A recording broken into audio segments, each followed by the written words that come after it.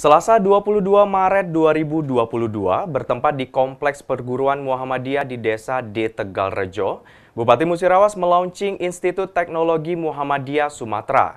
Acara berlangsung sukses yang dihadiri langsung oleh Ketua Pimpinan Wilayah Muhammadiyah Sumatera Selatan Bapak Profesor Romli.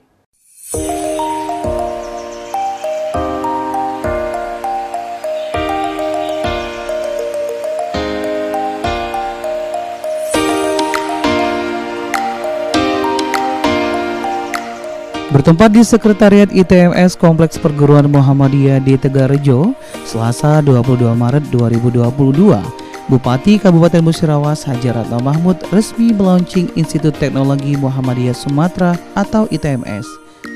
Acara berlangsung sukses dengan dihadiri langsung oleh Bupati Musirawas, Haji Ratna Mahmud, Kapolres Musirawas, AKBP Ahmad Gusti Hartono SIK, Ketua Pimpinan Wilayah Muhammadiyah Sumsel Profesor Romi MAG, Ketua Pimpinan Wilayah Muhammadiyah Musirawas Triyono SEMSI, dan Konsultan ITMS Dr. Dwi Cahyono.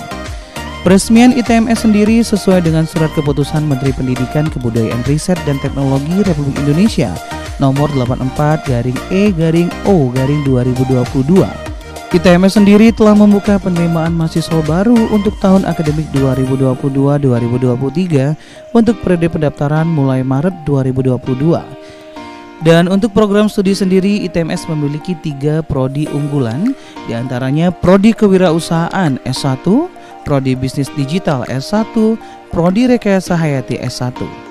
Bupati Kabupaten Musirawas Haji Ratna Mahmud dalam sambutannya mengatakan, dengan hadirnya ITMS tentunya akan berdampak positif bagi upaya meningkatkan kualitas SDM khususnya di Kabupaten Musirawas dan berharap ITMS dapat mencetak alumni yang dapat bekerja keras, bekerja ikhlas dan tuntas dalam berbagai profesi.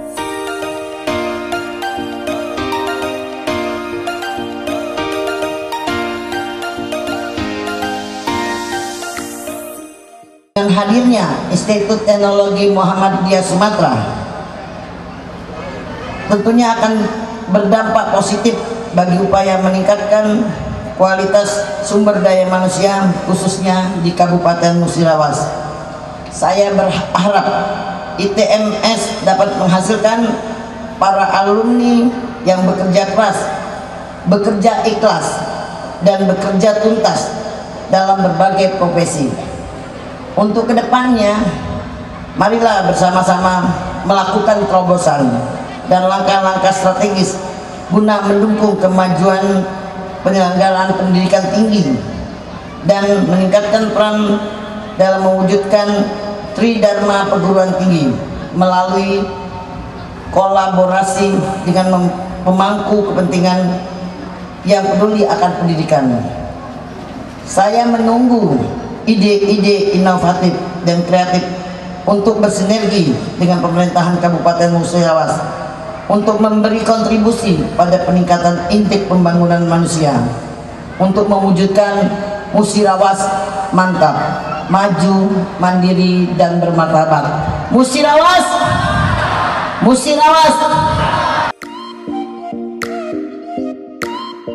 Sementara itu, Ketua Pimpinan Wilayah Muhammadiyah Sumsel Profesor Romli mengucapkan selamat atas berdirinya ITMS dan berharap semoga Institut Teknologi Muhammadiyah Sumatera ke depannya semakin maju dan berjaya.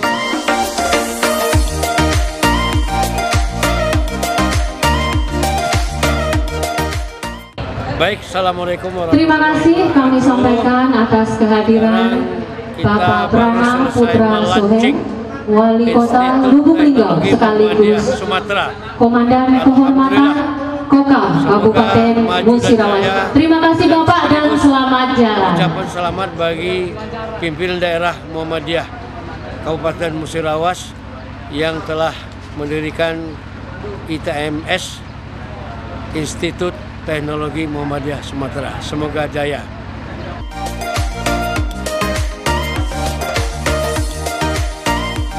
Disampaikan kembali oleh Bapak Triyono, ITMS akan segera beroperasi dan menargetkan tahun pertama ini sebanyak 300 mahasiswa dan nantinya kegiatan belajar mengajar akan diselenggarakan di Agropolitan Center Muara Bliti.